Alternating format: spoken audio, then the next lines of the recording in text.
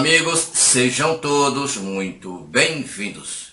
Com todas essas mudanças que estão acontecendo no INSS, muitos amigos estão preocupados porque não entenderam bem essas novas regras ou essas novas normas a respeito da decadência, quando o cidadão pode pedir uma revisão ou quando o INSS pode revisar o benefício deste cidadão.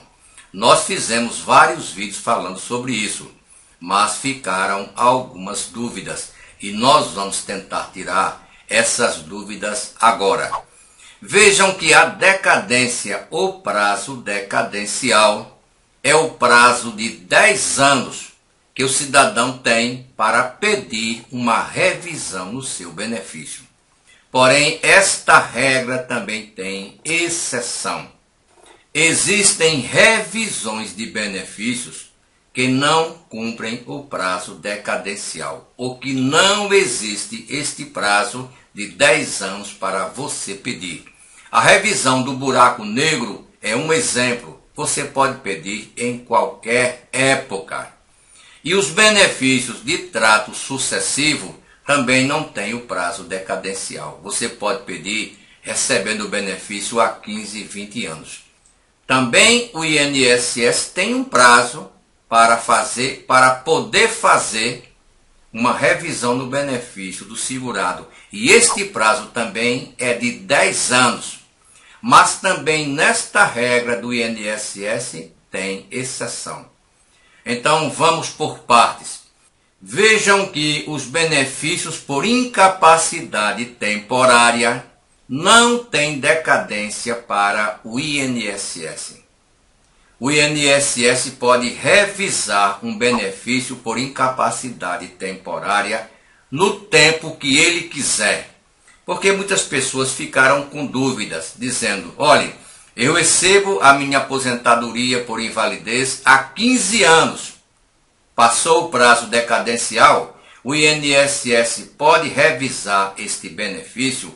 A resposta é: não passou este prazo decadencial, porque nos benefícios por incapacidade, ou seja, o antigo auxílio doença e as aposentadorias por invalidez não tem a decadência para o INSS.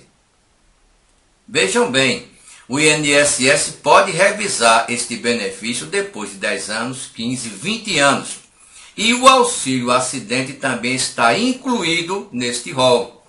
Então, auxílio doença, aposentadoria por invalidez e o auxílio acidente, o INSS pode revisar a qualquer tempo porque não existe a decadência. Estamos falando da decadência do INSS para o segurado, não a decadência do segurado para o INSS. Vejam que o cidadão que recebe um benefício por incapacidade, vamos supor uma aposentadoria por invalidez, ele não pode pedir uma revisão do benefício depois de 10 anos por conta da decadência.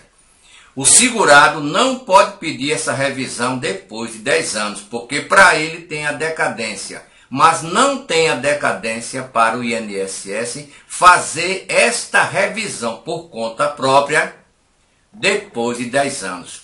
Então, esta mão que deveria ser dupla não vale para o INSS e vale para o segurado. Por isso que fica complicado em muitos casos entender. Então, repetindo, auxílio acidente, auxílio doença e aposentadoria por invalidez, o INSS pode fazer a revisão a qualquer momento, em qualquer tempo, porque não existe o prazo decadencial para o INSS. Porém, o cidadão que recebe um benefício por incapacidade não pode mais pedir esta revisão para aumentar o benefício depois de 10 anos. São duas coisas diferentes. Por isso, muitas pessoas ficam com dúvidas. Pela primeira vez, o auxílio acidente entra no rol dos benefícios que são necessários à perícia médica para a sua manutenção. E pessoas perguntaram: mas o INSS pode revisar este auxílio acidente depois de 10 anos? A resposta é sim, porque para o INSS revisar este benefício não tem a decadência. De 10 anos para o auxílio acidente, não. Para o trabalhador, para o segurado, tem. Então são duas coisas diferentes. E outra coisa importante a falar é que mesmo que o seu benefício, a sua aposentadoria, não seja por incapacidade, seja por tempo de contribuição, seja por idade, e você receba 20, 30 anos, se o INSS comprovar que há indícios de irregularidade, que o segurado usou de má fé para conseguir este benefício, independentemente do prazo que você recebe este benefício, o INSS pode revisar, pode suspender, pode cancelar e pode pedir tudo que o cidadão recebeu durante todos esses anos de volta.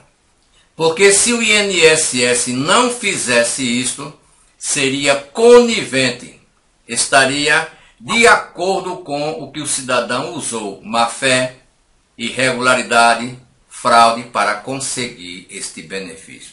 Como vocês podem ver, as normas, as regras, as leis que regem o INSS são complexas. Por isso a gente tenta aqui desmiuçar, falar de modo bem simples para que todos entendam.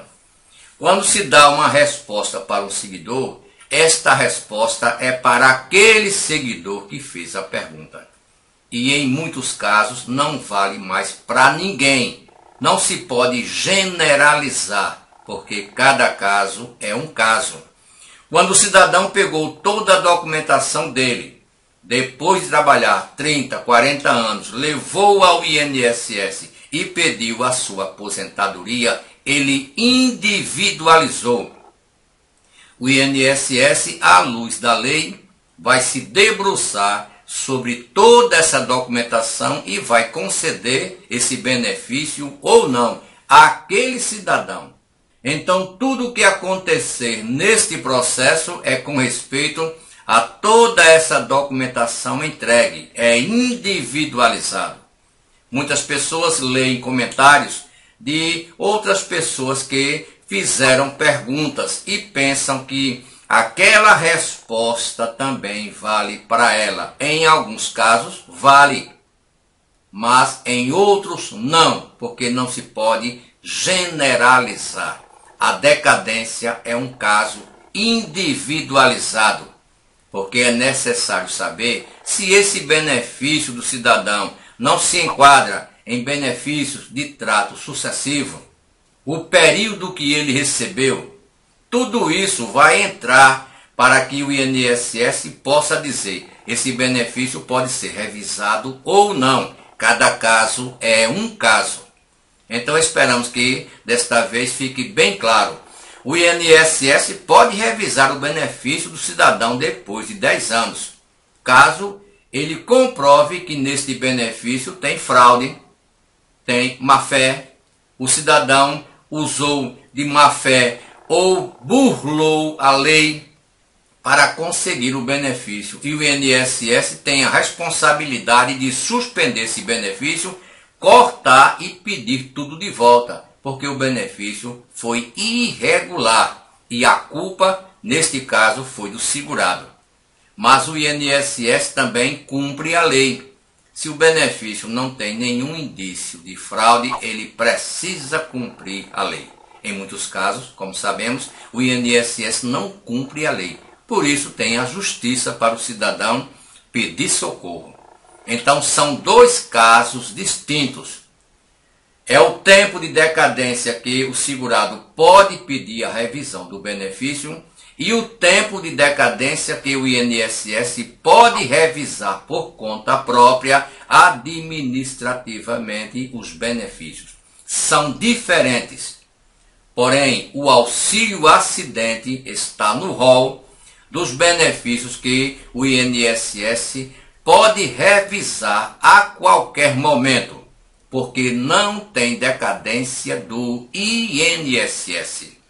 O benefício por incapacidade do segurado tem um prazo decadencial, que ele pode pedir a revisão 10 anos. Porém, para o outro lado não funciona. Para o INSS é diferente. A qualquer momento você pode receber o seu auxílio acidente há 20 anos. E o INSS agora, por esta lei, chamar para uma perícia médica. É claro que esta medida provisória não é uma lei, é uma medida provisória. E até já fizemos vídeo falando que há cinco emendas que tiram o auxílio acidente do texto da MP 1113-22. Esperamos que com este vídeo tenhamos tirado as dúvidas dos nossos amigos.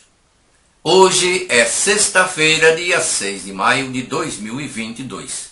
Muito obrigado a todos.